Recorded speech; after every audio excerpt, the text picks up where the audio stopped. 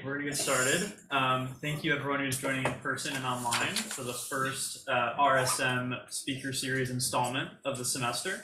Um, we're really excited to welcome Gianluca Stringhini um, from Boston University. Um, but before Gianluca takes the floor, uh, he's going to be introduced by Joe Walther, one of our visiting scholars this term. Uh, Joe is the Bertelsen Presidential Chair in Technology and Society at UCSB. Uh, he's also a distinguished professor of communication and the former director of the Center for Information Technology and Society. Um, and with that, Joe.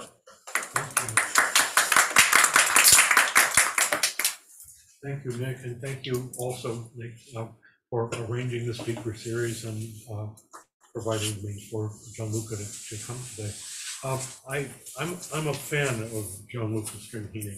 He, he does uh, he does computer science work that I can understand, and that's saying a lot.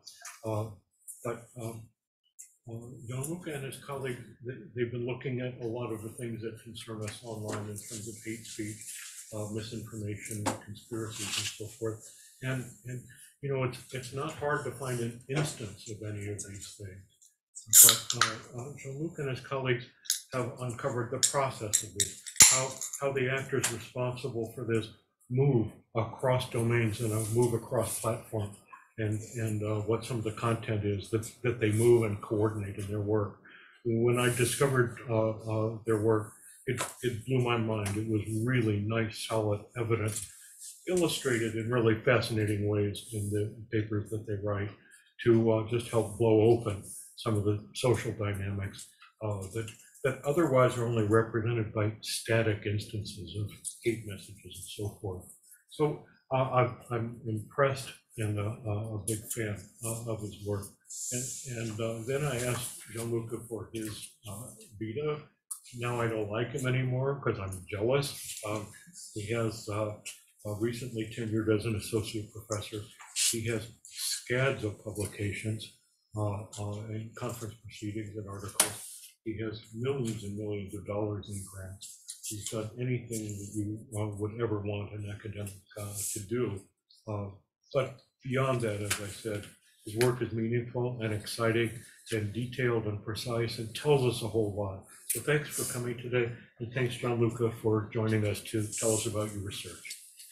Thank you. Thanks, Joe. Thank you so much for the for the kind introduction and uh, well, good morning or good afternoon, everybody. It's uh, it's great to be here. So as uh, as Joe said, I'm a computer scientist. So uh, what I do, I develop computational techniques to better identify and understand malicious online activity. So I started looking at uh, malware, online fraud, spam, this kind of automated uh, bad activities that we're all familiar with.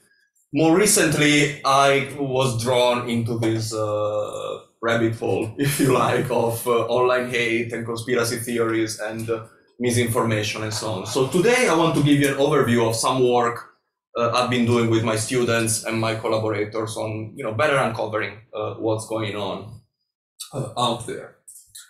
Uh, and to start, I want to give you an example of something that happened to me um, a couple of years ago now. So one day, um, I was sitting in my office and I started receiving weird emails that, uh, you know, looked completely random. So the first one uh, was this email where um uh, somebody was asking me for advice uh, on how to cope with the recent wave of, you know, hate and bigotry and uh, anti-Semitism and all of that. This was uh, um, early 2017, just to put it in um, into context.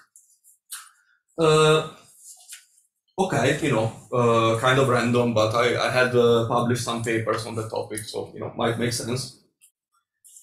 Then I started receiving other emails. So this one was asking me about help on some class project for a class called Community Studies Project 12, which I had no idea what it was.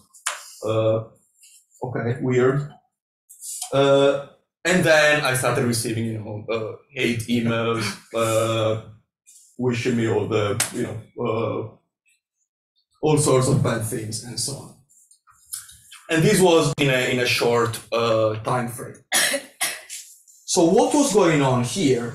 Uh, well, later on, I discovered that someone posted this screenshot on uh, on 4chan on the political incorrect board on 4chan, uh, and this was uh, you know an anonymized, blurred out uh, screenshot of a class assignment where a professor was asking students to go on the community and start posting about controversial topics, you know, uh, gender issues, LGBTQ issues, women's rights, all these kind of things. And if you are at all familiar with the community, you know, that's a very much uh, alt-right uh, community, so they were not pleased with this.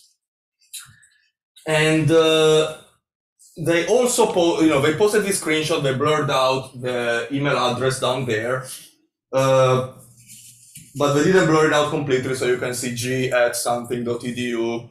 So they interpolated it in the thread, and they got convinced that it was me uh, for whatever reason. So they found an old email address of mine that sort of fit in there. Uh, they mistyped it, but uh, that doesn't matter. And so they decided to go and uh, and attack. So you know they put out uh, some of my public information. Uh, they called for attacks, and then they started posting templates of emails to send me. So this was the, the email that I received. The first email I showed was posted as an example on on 4chan and I later received the same exact email. Eventually, they figured out it wasn't me, uh, and they stopped. Okay. Uh, but this gives you an idea of what these coordinated uh, harassment attacks look like and what we call uh, a raid. And uh, you know, as you can imagine, if I receive this kind of attack, um, you know, as a white male professor, whatever, you can imagine how much um, other types of demographics might be uh, affected by this. And after that, you know, this kind of blew up. Now we, we hear about it um, every day. We hear about, you know, celebrities and uh, um, gamers, all sorts of people being, uh, uh, being attacked online. And so we set to study this, uh, this phenomenon in our, uh, in our work and we found that it's uh, it's quite common. So in our limited view of uh, you know the political incorrect board, we looked at attacks targeted against YouTube, specifically YouTube videos. We find that it happens about two to five times a day, which you know it's uh, it's quite a lot given that it's only one community. It's fairly small comparatively speaking to you know other platforms uh, and so on and so forth. So what are we going to see uh, today? I want to give you an overview of four uh, projects that I did. So the first one is these coordinated attacks against uh, YouTube videos. So somebody posts a link to a YouTube video that for whatever reason they don't like, you know, it might be against uh, what they believe, they might want to uh, harass the person and so on. And basically they invite people to storm and disrupt the video in the in the comments. The second one is about Zoom bombing. So that's a similar threat uh, that kind of emerged during the COVID-19 uh, pandemic. And these are people who go and disrupt Zoom meetings like the one with, uh, uh I mean, you know, hopefully since then, uh, some mitigations have been developed to sort of make it uh, more difficult. and then I'll talk about some other work I did on automatically identifying online risks in private conversations online, so uh, cyberbullying and sexual solicitation and uh, things like that. And finally, I will conclude with the work that we did in looking at what happens after uh, communities get the platform. Because the most natural uh, way of dealing with online hate and uh, conspiracy theories and whatever is just suspending those accounts, suspending those communities, and so on. Uh, but these are real people, so they will move somewhere else. And what happens then? That's something that we need to keep in mind. So to begin uh, understanding what we're talking about, um, let me tell you a little bit about 4chan, uh, which is the first community that we studied. So 4chan is uh, uh, an image board, and so people can post an image that starts a thread, and then they can discuss it it's uh, organized under a bunch of topics, uh, various levels of uh, weirdness and toxicity and so on. What we focus is the political incorrect board. uh, which is one of the most popular communities that uh, you know uh, creates havoc on the internet. They did things like uh, you know turning uh, Microsoft's chatbot uh, racist a few years ago. They organized all sorts of raids. They tried to. They claim that they sort of were extremely influential in getting President Trump elected through this kind of meme wars and so on and so forth. Uh, what's interesting about 4chan compared to other communities out there is that uh, at any point in time there can be only a certain number of threads active. And so every time a new thread is created, uh, a thread has to die basically, it's archived. And after it's archived, it goes into this archive for a week and then it's deleted. So content is also ephemeral. And as you, and also uh, users are anonymous, there are no accounts, so anybody can post, and there is no way of telling who's posting what. And as you can imagine, this combination of anonymity and ephemerality sort of uh, encourages all sorts of bad behavior, especially when there is no moderation uh, from the administrators and so on.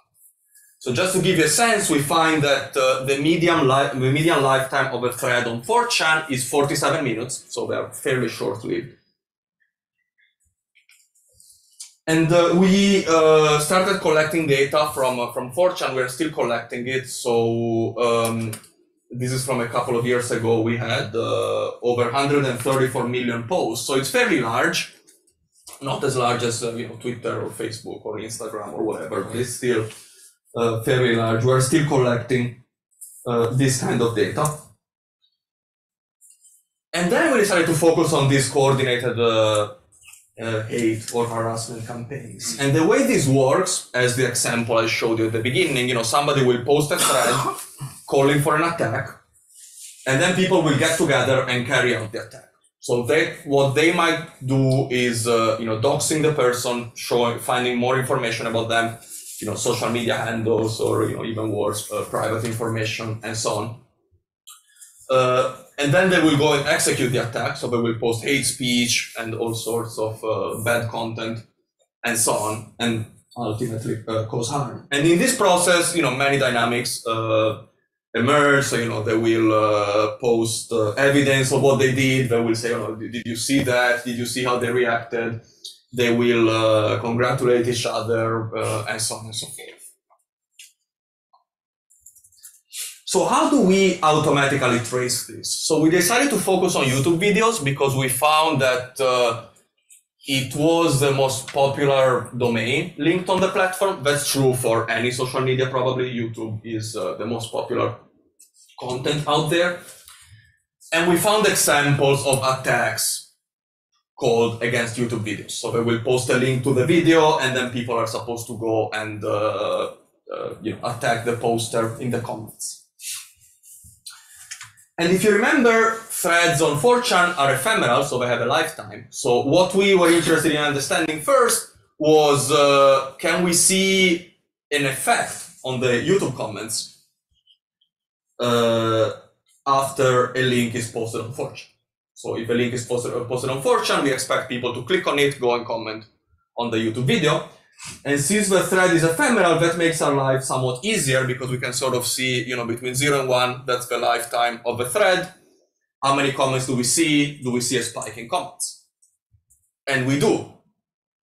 Uh, but that's not telling us much because that's what we expect to see in any social media platform, right? Once somebody posts a link somewhere, we expect, you know, the, the reason why they're posting it is for people to go and visit it uh, and engage with it and so on and so forth. So we needed something uh, slightly more sophisticated. And so we resorted to uh, signal processing, essentially. So the idea there is that uh, how can we mo- simply model this behavior of uh, having a synchronization thread where people coordinate and then the YouTube video where they're actually posting comments. And uh, cross correlation is this metric that is used to identify to uh, model how synchronized two signals are. So what we did, we modeled the comments on uh, 4chan and the comments on YouTube as signals, as a you know train of impulses and whatever, and then we use this mathematical technique to find out how synchronized they are. Ideally, somebody will post a hateful comment on YouTube and then immediately go back and report on the thread. This is what I did, uh, and this is what happened. In reality, it's a little laxer than that, but you get the idea. And this is interesting because it gives us a number, which is the lag between the two signals, that then we can use later on to automatically identify videos that we believe were rated. And what you see in this plot is basically, uh, we have a synchronization here, so zero indicates perfect synchronization. And then we look at hate comments. So we um, ran the comments through uh, the HateBase API, which is um, uh, an API to identify hate speech. And so the dots in red contain hate, the ones in blue do not contain hate. And what you can see is that basically the smaller the lag, the more synchronized the 4chan thread and the YouTube comments are, the more hate we see. And if, if there is really no synchronization, there is really not much hate. So that allows us to extract a set of videos that have been uh, targeted just by looking at this number. We don't really even need to look at the comments. We don't need to, um, you know, whatever, train classifiers or large language models these days uh, to identify what's hateful and what's not, and so on and so forth. So that's fairly accurate and quick to do. And then by looking at this set of videos, uh, well, we made some observations. So we find that, uh, as I said, people like to report back. So they will talk about what they did, they will talk about uh, what happened in the attack, uh, potentially how it affected the victims. So some of these videos were actually live streams. So this could be done, you know, in, in real time instead of just being um, uh, a video posted there uh, to be to be watched later we see that they overwhelmingly target uh, uh, vulnerable demographics. So we see attacks uh, called, uh, you know, against women, against members of the LGBTQ community, against uh, minorities, and so on and so forth. Um, and then in some cases, we see that even if the attack does not uh, start as targeted, so it's not calling for an attack against a specific demographics and so on, the commenters will go after other commenters who may be part of uh, certain minorities. So sort of the attack becomes targeted as it as it goes uh, in, a, in an opportunistic way, if you if you like.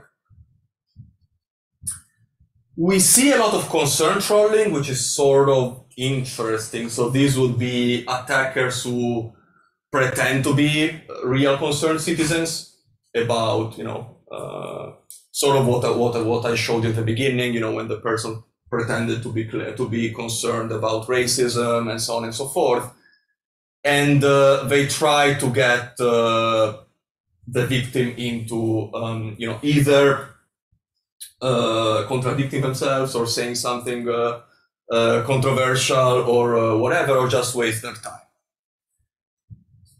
And why is that interesting? Because it's very difficult for moderators to identify this kind of behavior. It looks legitimate. It's just, uh, it's just not. And what do we do about it? You know, it's not necessarily against the terms of service. It's not hate speech. Uh, actually, probably it's uh, it looks exactly like real people being concerned about uh, about an issue, at least on the surface.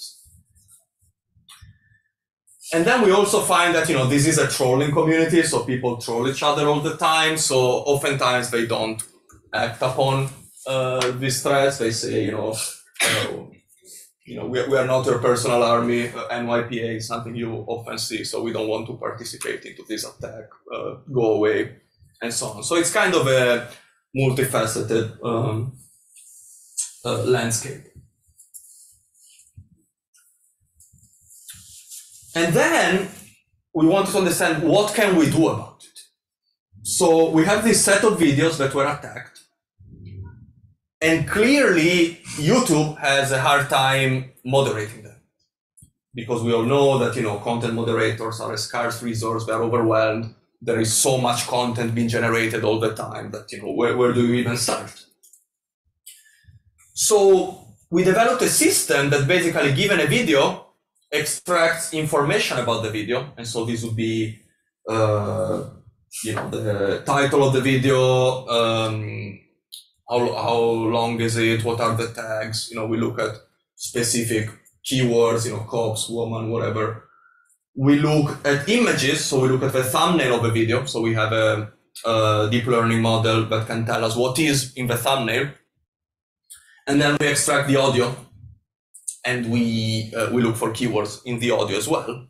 And the idea is can we take all the all these signals and combine them to identify uh, videos that are likely to be moderated to, to, be attacked? Sorry. And so if that works that could be an additional signal for uh, for youtube or whichever platform we want to uh, to protect telling content moderators, you know, this is a video that you should pay particular attention to because it's likely to be attacked in uh, in the future. So this could be a um, prioritization uh, system that could be used by content moderators, and it works uh, reasonably well. Uh, any questions so far? Yep. On the previous slide, um, the bottom statistic about the Mhm. AC of 0.94. Yeah. Have you applied that forward-looking and then seen if the videos you predict will be rated R rated, or is that purely retrospective? Uh, this one was purely retrospective, yes, because it wasn't easy to extract uh, this ground truth of videos that would be attacked. Yeah, but th- that's a good point. Yes. Uh, also, it might overfit, so it might be biased uh, on videos that were attacked by that specific community. So there might be other communities that target other types of videos. The second question, can we predict which videos? We have an example? Whatever is shown on the, Mhm. on the screen is theoretical or hypothetical. Do you have a specific example? I'm shouting so much. No, it's just that uh, people there are people online and they Oh, can hear it even if you don't shout. If you shout.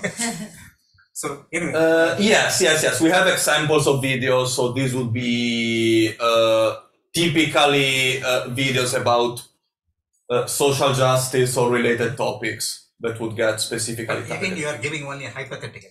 Just give, just give a very specific example wherein the YouTube removed the particular item Oh, where they remove, they, they don't remove the particular item, but they would remove the hate speech. So what we're looking at is really hate speech in the Right. comments. So, do you again, I keep asking the same thing. Do you have a particular example? Yes, yes, yes. So the I don't have it on the slides, but what the what the attackers would do, they would go and attack the um, uh, the creator of the video with all sorts of slurs and hate speech and uh, and so on. Yeah. Uh, no. Okay. My, I have a quick question. Yeah. My question is related to the, uh, I, maybe we'll enter this in a later stage of the talk, but that higher strategy of the prioritization of the content itself and not necessarily the, Yeah. the hate, the, the attack. Uh, does that, is, is that because of the space in which the hate and harm happens that the, this prioritization is, is particularly useful so that moderators are more, uh, It, out in the look, but what but it seems that it's kind of like a remediative strategy instead of a preventive run, right? it would be a, a remediative strategy, but it would allow moderators to look at uh, at the risky comments uh, in a more timely uh, fashion, right?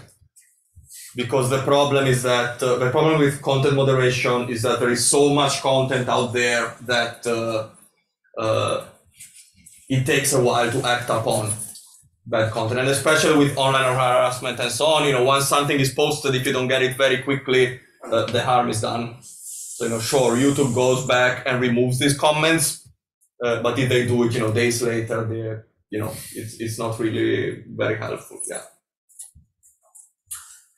So uh, then I wanted to talk about. Oh yeah.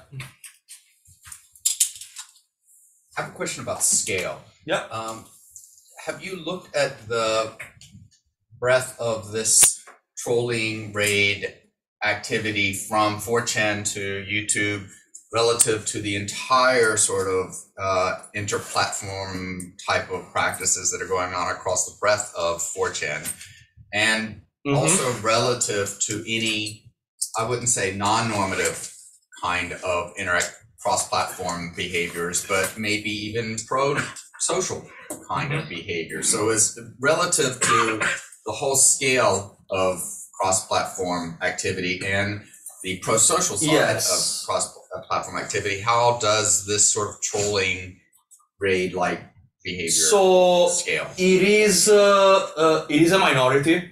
I want to say uh, among all the videos we saw on uh, on 4chan, um, it would be in the order of one percent or something. The ones that are actually attacked. So most videos are posted for you know whatever. This is a funny video or whatever it might be.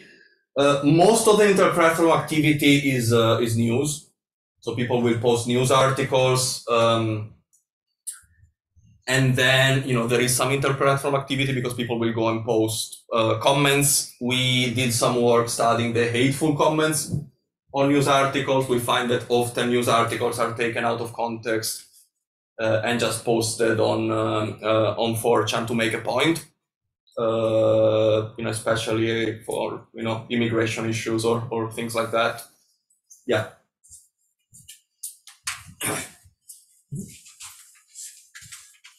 So now, besides the management of YouTube or Facebook, Mhm. even government agencies, they try to keep track of such Mhm. issues, right? Yeah. And again, even for them, it should be a very major task. May not be able to fully solve the problem. Yes, especially if you're doing it in a cross-platform fashion, there is so much data, and uh, you know, using this kind of techniques that just look at synchronization might be more robust than looking at text that people can try and you know change the way they speak to avoid being detected and so on. But it's, it's a huge problem. Yeah, definitely. Uh, so yeah, then after doing this work, we realized that a similar problem was happening on uh, on Zoom. So we saw, you know, news reports and so on, or even you know, in our own online classes, they would get disrupted by trolls. And we found a similar uh, pattern of, you know, these Zoom links being posted on 4chan. We also looked at Twitter, so they would be posted on Twitter as well, with an invitation of going and disrupting the meeting. Okay, and the difference there compared to what I talked before um, was that these are uh, you know real-time events. So you know you cannot attack a Zoom meeting after the Zoom meeting has ended, and uh, uh, you cannot. Uh, um, yeah, so it, it, it has a smaller window of opportunity. And the other thing is that we can see links being posted on 4chan uh, or on Twitter for Zoom meetings but we cannot really see what's going on on the Zoom meeting. While on YouTube, we could go and check the comments. So we applied a slightly different uh, uh, technique here. So we had basically uh, multiple annotators go and check the threads to tell if it was a call for an attack or not. So that then we could characterize uh, what was going on there and we found 134 calls for Zoom bombing over a period of uh, uh, a month, if I remember correctly. So it, it was, uh, you know, that was the beginning of the pandemic. So it was a problem that was kind of surging. And what did we find here? Uh, well, we found that the huge majority of uh, class of uh, attacks here are calling to disrupt online classes, online lectures. So this would be uh, high school classes or uh, college classes you know everybody went online so it was uh, you know very common and uh, nobody knew how to secure these things the second interesting thing we found that 70% of these attacks uh, were called by insiders so it would be legitimate students in the class asking strangers to you know disrupt their own classes because they were bored And then we also found that most of them are targeting meetings that are happening in real time. So it's, you know, there was wording in the thread saying, you know, my class is happening right now, come and, uh, and disrupt it. So these were not really planned uh, ahead of time. And all these are interesting because uh, when defenses for Zoom meetings were developed, they were assuming a completely different threat model. So they were assuming that somebody from outside would come in and disrupt the meeting. So they would tell you, you know, set up passwords. But if your attacker is an insider, they can just give the password to someone else. They would tell us, you know, set up a waiting room so that you can tell who's real and who's not, and you know, kick out attackers. But actually, we found many instances of students saying, "Oh, here is a list of the names in the class, so you should adopt, uh, you know, the name of some other student so that the teacher wouldn't be able to tell uh, who's an attacker or who's not. We see that oftentimes the attackers are, are taking the name of the host so that the participants are confused, they don't know what's going on, uh, and so on and so forth. So after a while, services started developing like, you know, one-time unique links for each participants, but this is not very common. Uh, and it's also typically a paid uh, option that they offer. So I don't know if it's still the case, but for Zoom, you could only do that if you had an enterprise um, account. And so that wouldn't protect, you know, later on we talked to many, um, you know, uh, people from volunteering organizations or would, who would have, you know, uh, volunteer ran uh, Zoom meetings or seminars and so on. It wouldn't be an option for them to adopt this kind of, this kind of defenses.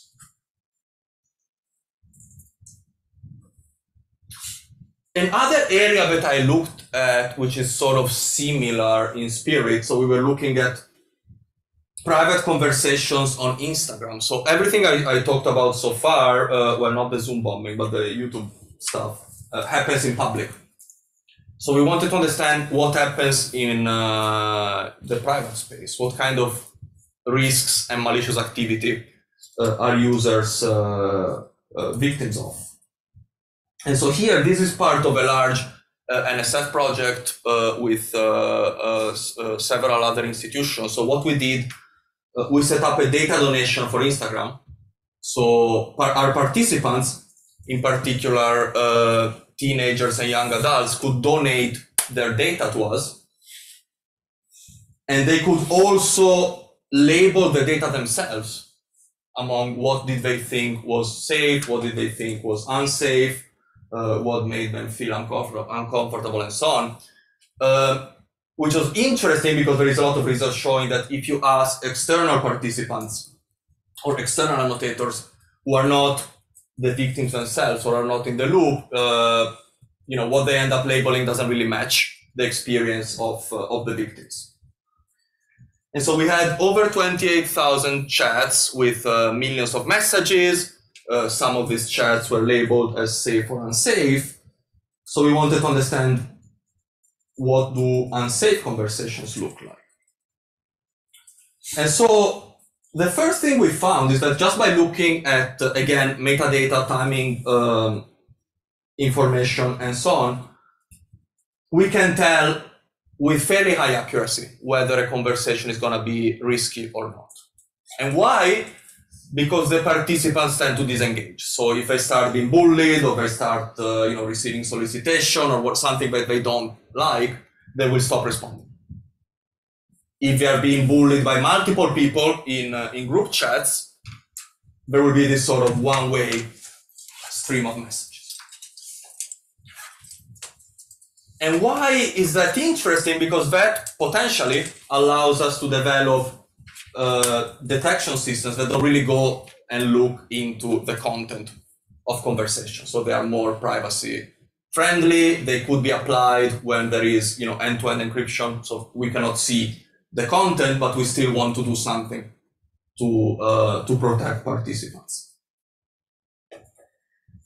And so we developed uh, uh, again a set of classifiers. So we looked at metadata so everything I said but doesn't look into content. And then we also looked at text and we look at images and so on. And what we found is that, as I said, the metadata classifier is fairly accurate by itself. So potentially it could be used at least as a strong indicator that something wrong is going on. Then obviously using all classifiers looking into text and so on uh, is more accurate. And then we also found that if you wanted to identify the specific type of risk, so we have several types uh, in our work, you know, bullying, sexual solicitation, hate speech. Uh, we also look at spam and things like that. Then we need to look at content. Yes. What sort of metadata were you looking at? Timing of it? So it would be um, uh, timing of the messages. It would be the length of the conversation. Uh, sometimes the participants will specify the relationship with the other party. If it was a stranger, a friend, an acquaintance, a partner, or whatever. So information like that. Um, so yeah, if you want to look at the type of uh, risk, we need to look at all of that. But this sort of gives us a direction to look into. You know, maybe this metadata features are uh, promising to be adopted in a scenario when we want to guarantee more privacy to the parties, which is what you know uh, we all agree is good, and uh, uh, most messaging platforms are going in that direction. So we have end-to-end encryption and uh, and so on. Finally, I want to conclude with this uh, other project in which we looked at these challenges uh, that deal with deplatforming specifically. So, coming from computer security, you know, we used to work on uh, anti-spam, anti-fraud, anti-malware, whatever, and so the solution was always you know, block content, delete content, uh, and the problem will go away. In these cases, it's different because we're not dealing with automated programs. We're dealing with real people who can, uh, you know, reorganize, go somewhere else, uh, potentially go somewhere else out of sight, and so there can be, you know, they can get radicalized more. Those communities are not moderated, and so on and so forth. So we looked at two communities that were deplatformed from Reddit at uh, different points in time. One was the Donald.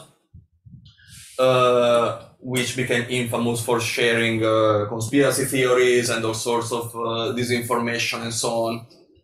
At some point in time in 2019, it was quarantined, so people could still access it, but they would receive a warning. And so that's what uh, you know set the administrators off, saying, "Oh, they're after us. They're gonna ban us. Let's create our own community, the Donald.win, on their own website, and let's migrate there." And then later on, the community was actually banned on Reddit, and so people moved to this new community.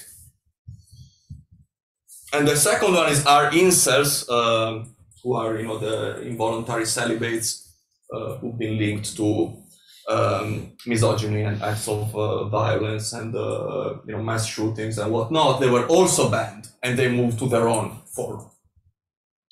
So we wanted to understand what happens to these new communities that are now somewhere else and they are not on a mainstream website.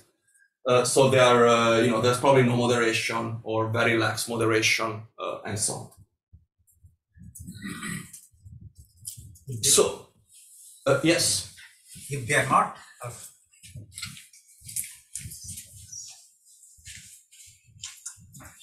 you know, in case they are not on the mainstream Mhm. website, then their effect will be not that significant, right? Because for people like me, we are, I'm not going to find that in general. Yes, but they could coordinate and come back to, to YouTube, for example, uh, to mount attacks, or they could, uh, uh, you know, if there is a link between online hate and offline violence, they could organize, you know, acts of violence offline. So, Uh, so they themselves interact. Yes, and, and then they can go, you know, if they're, if they're building a conspiracy theory, that they, they can go and push it to other communities. Because I was comparing this situation Yeah, with money swindlers.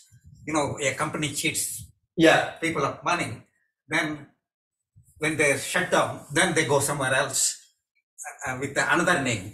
Yes, So- yes, yes, yes, yes. But here, you know, the web is all interconnected, so they can they can still come back in other forms.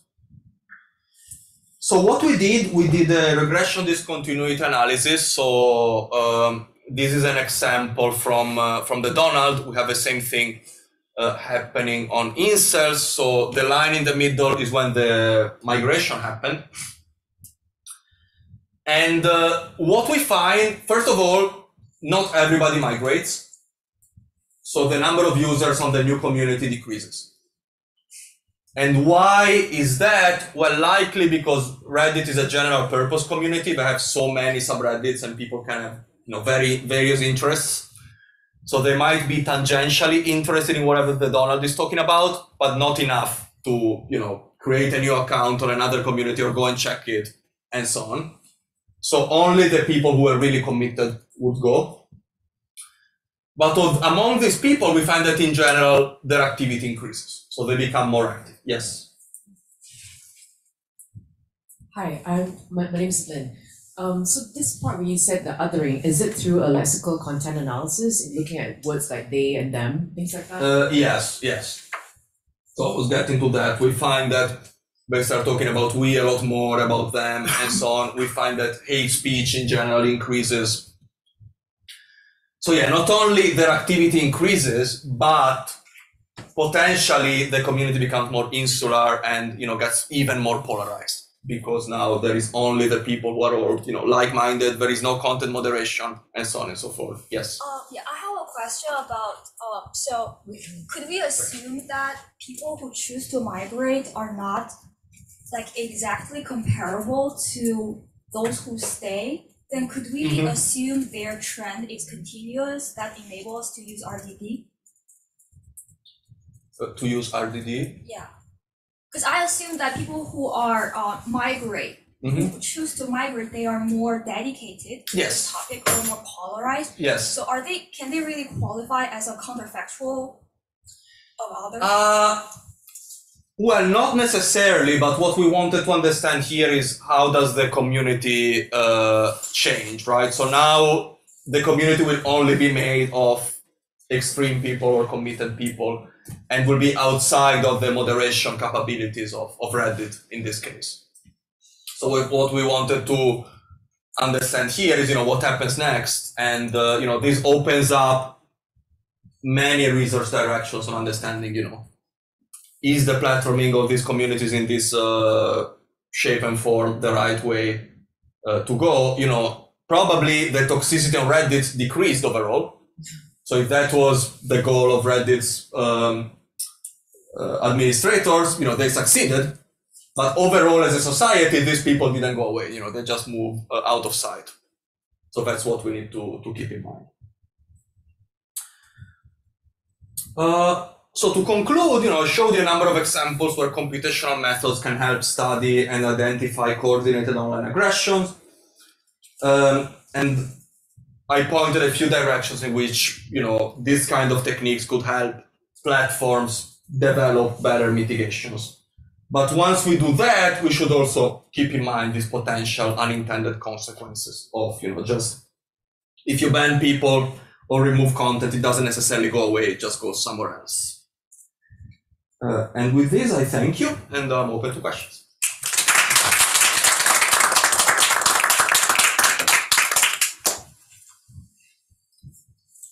Hi, thanks very much. Uh, my name's Adam, um, pretty tall white guy wearing a blue striped shirt.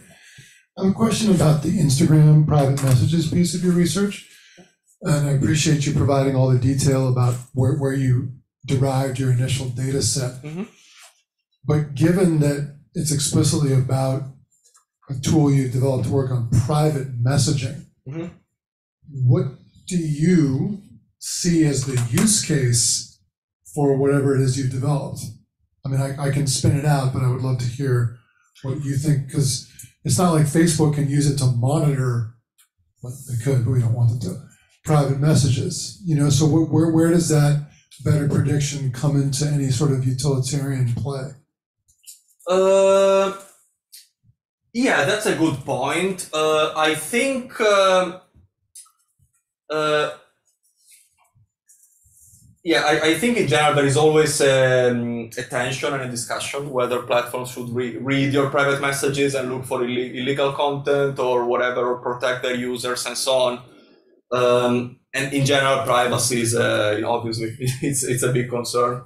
So that's uh, that's why people are advocating to move to end-to-end encryption and so on. So what we wanted to understand there is, can there still be some indicators that can be used without looking into uh, you know what is being said or even who, we- who we are talking to and so on. Right. Okay. Yeah. So in the data collection piece for the same study, I know you had users volunteer their Mm-hmm. private messages and you did that analysis. Was there a strategy in approaching the platforms to see if they would give you some of the data that you would need to do this research, or was this more of just Uh, y- yes. So what's their response on? it's uh, it's it's always tricky, and in general, getting data from getting user data from platforms, especially if it's not public data, um, it's something they will not do.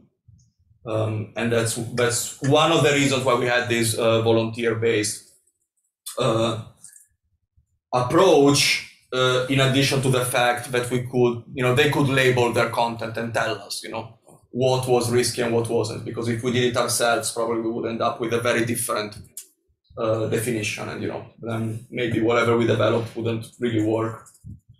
Yeah. So I wanted to um, look at the discourse raised here in your conclusion to ask a few mm-hmm. questions. By effective mitigations, are you only interested around the content moderation practices? Because there is an argument that has been made that, that there could be another form of mitigation around amplification and mm-hmm. incentivization. Yeah. But that would then mean looking at different sets of practices that may be more positive or more pro-social. Have you Uh, considered any of that type of? So once you identify this content, you can do uh, various things. So I have work that looks at in the disinformation space that looks at soft moderation. So you don't remove the content, but you add a warning label, right?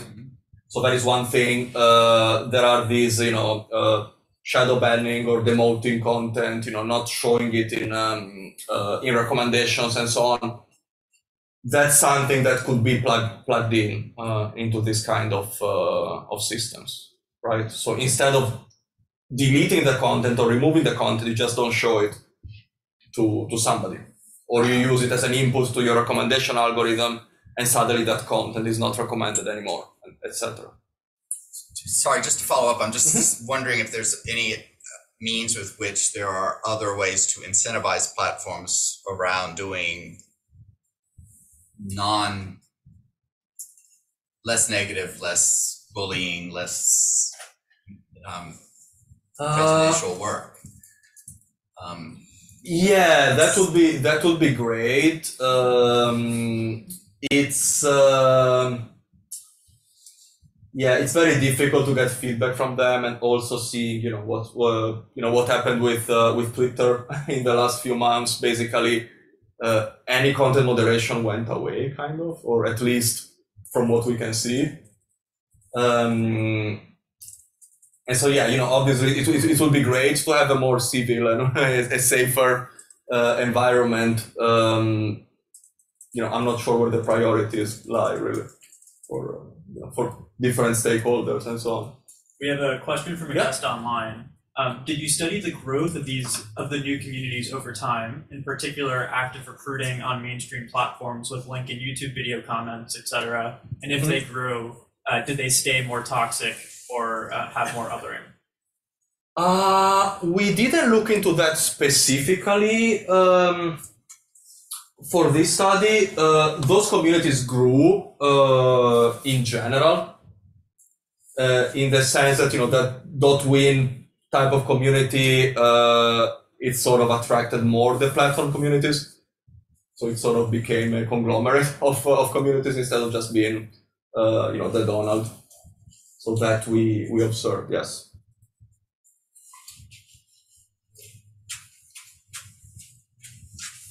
Interesting that you raised, um, can you hear me okay? Yeah. Uh, the raised Twitter, I was actually one of the council members on Twitter, uh, since its founding, and then I resigned, and, uh, Musk actually instigated harassment against me and the two women that did, then he fired everybody else.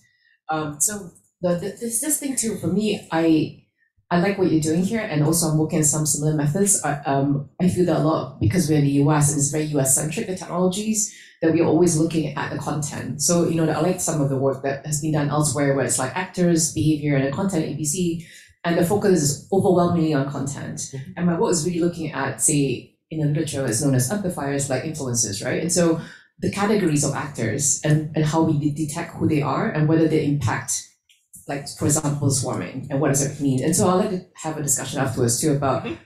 actors and behaviors because i feel that that needs to be looked at more and then the impact in terms of the first amendment and what we can do about it Yes. and because we're at a law school i've been looking at lawrence Less- lessig's work and what he was saying about replicant behavior and and what how that pertains to the first amendment and he was saying that if technology changes so much and impacts democracy then we should do something about it and so for me this is the missing bit of the conversation. I feel it's a societal uh, effect, but it's so siloed that actually we not look at it in a very integrated way.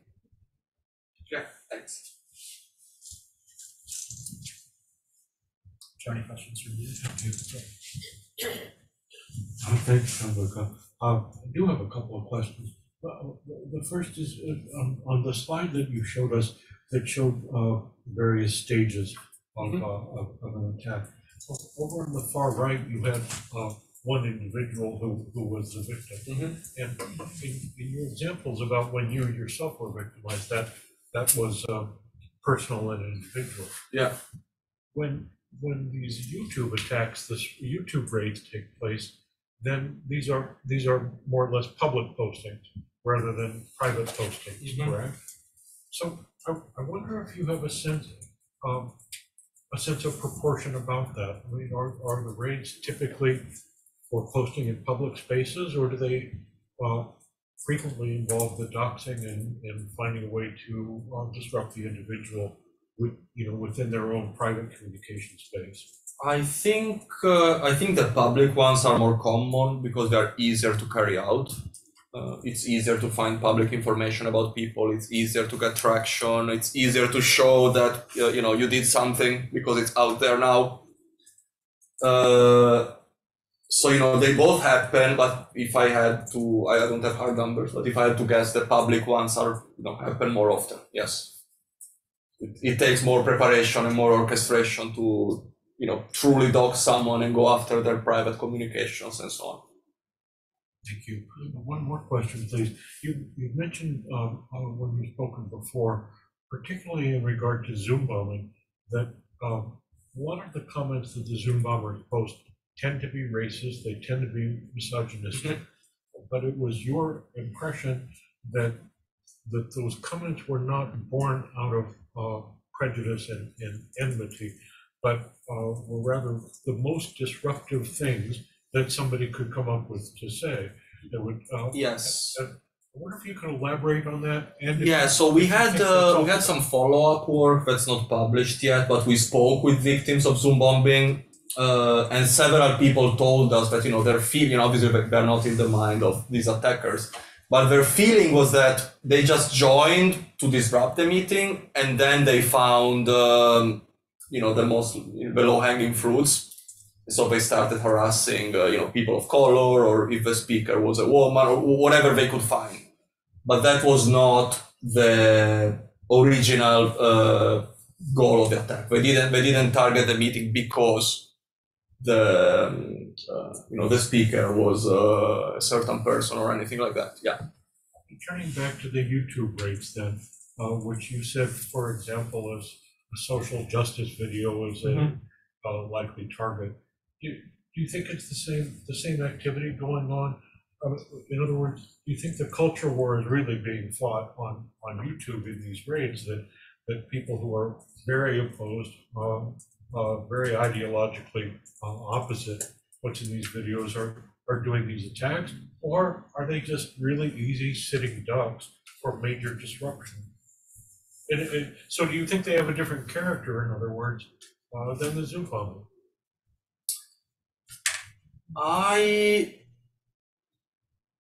I think so. I think that um, at least the, the way we saw it, the, the for the videos, they typically would talk about what the video is about.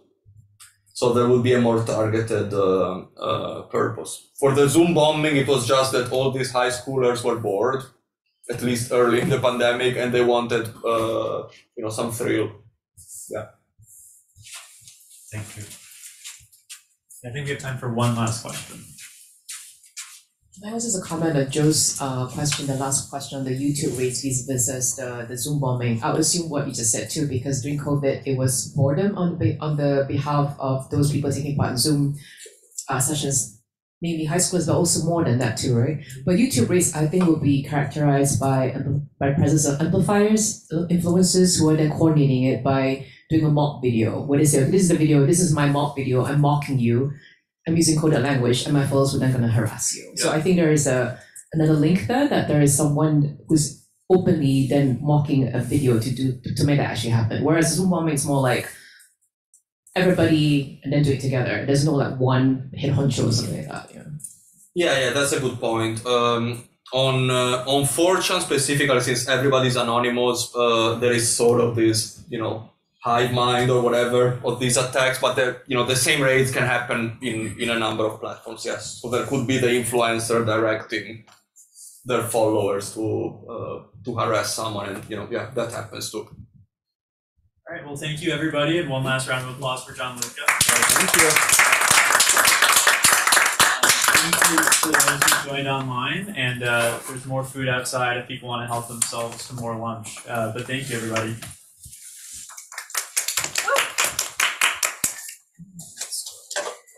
Wednesday, it's gonna